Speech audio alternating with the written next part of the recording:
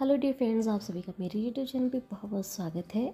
आज मैं आपके साथ शेयर करने जा रही हूँ मिनी पिज़्ज़ा बनाने की रेसिपी ये पिज़्ज़ा आप कभी भी बना कर खा सकते हो इवन आप इसे रोज़ बना कर खा सकते हो, क्योंकि इसे बनाना बहुत ही ज़्यादा आसान है।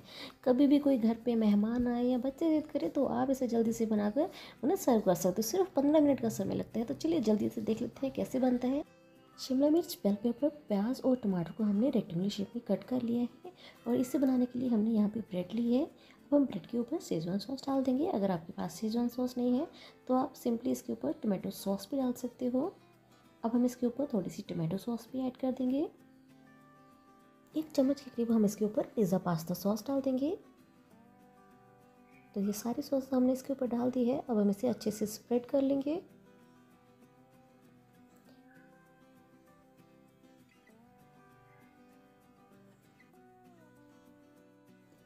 सॉस को हमने इसके ऊपर अच्छे से स्प्रेड कर दिया है। अब हमने जो सब्ज़ियाँ काट के रखी थी, वो भी इसके ऊपर लगा देंगे। सबसे पहले हमने इसके ऊपर शिमला मिर्च रखी है फिर बेल पेपर फिर टमाटर रख दिए आप अपने अकॉर्डिंग इसे किसे भी एडजस्ट कर सकते हो।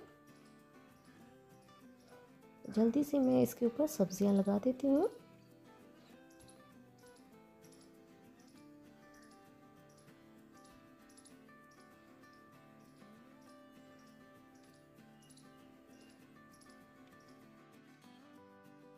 सारी सब्जियों को हमने इसके ऊपर प्लेस कर दिया है। अब हम इसके ऊपर ग्रेट करेंगे मोजरेला चीज़ मोजरेला चीज़ की क्वांटिटी हम इसके ऊपर ज़्यादा रखेंगे ताकि खाते वक्त हमें जो है ना चीज़ का टेस्ट इसमें अच्छे से आए। तो दोनों को ऊपर अच्छे से मोजरेला चीज़ ग्रेट करके डाल देंगे।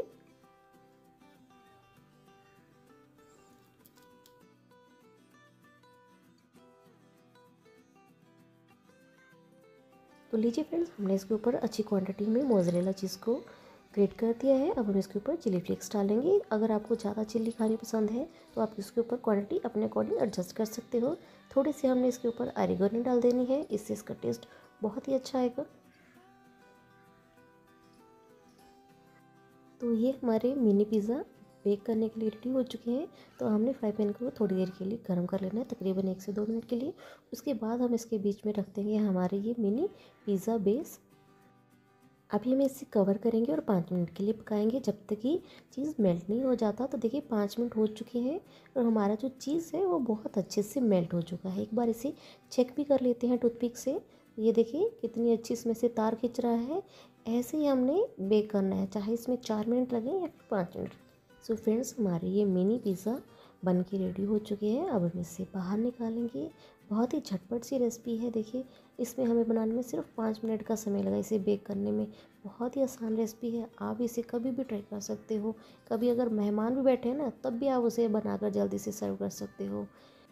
तो फ्रेंड्स हमारी ये मिनी पिज़्ज़ा बन के रेडी हो चुकी है। सर्व करने के लिए आप इस रेसिपी को ज़रूर ट्राई कीजिएगा। रेसिपी अच्छी लगे तो इसे अपने फ्रेंड्स और फैमिली के साथ शेयर कीजिएगा लाइक कीजिएगा और अगर आप चैनल पर नए हैं तो प्लीज़ चैनल को सब्सक्राइब ज़रूर कीजिएगा। मिलती हूँ एक नई रेसिपी के साथ।